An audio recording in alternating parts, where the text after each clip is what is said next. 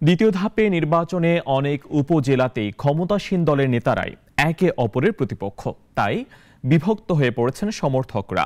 স্থানীয় সংসদ সদস্যদের সমর্থকরা অংশ নিচ্ছেন প্রচারে। নির্বাচনের প্রভাব বিস্তার, আচরণবিধি লঙ্ঘনের অভিযোগ চলছে প্রচার প্রচারণা। প্রতিনিধিদের পাঠানো তথ্যচিত্রে জানাচ্ছেন পিন্টু হাজং। উপজেলা পরিষদের নির্বাচনকে ঘিরে এখন সরগরম, গাইবান্ধার সদর, গোবিন্দগঞ্জ ও পলাশবাড়ী উপজেলা নির্বাচনে যারা মাঠে নেমেছেন তারা সবাই ক্ষমতাসীন আওয়ামী লীগের সমর্থক। গাইবান্ধায় স্থানীয় সংসদ সদস্যদের মনোনীত প্রার্থীর জন্য মাঠে কাজ করছেন তার নেতাকর্মীরা।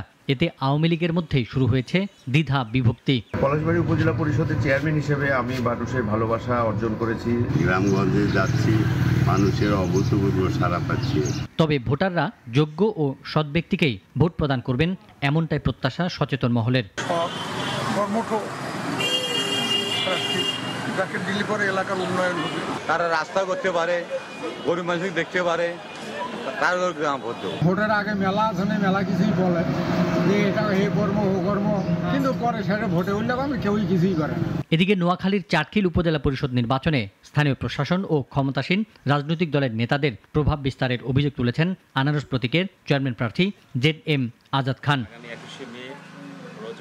সকালে চাটখিল পৌরসভার নিজ বাসভবনে সাংবাদিক সম্মেলনে জেড এম আজাদ খান বলেন, তিনি নির্বাচনী কর্মকাণ্ড শুরু করার পর থেকেই তার কর্মীদের বিভিন্নভাবে হুমকি ধামকি দেওয়া হচ্ছে।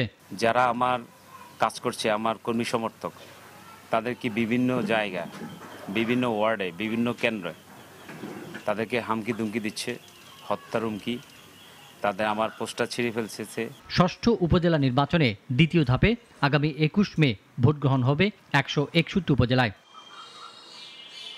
পিন্টু হাজং নাগরিক। একমাত্র ওয়ালটন এসি দিচ্ছে এক বছরের রিপ্লেসমেন্ট গ্যারান্টি এবং কম্প্রসারের দশ বছরের গ্যারান্টি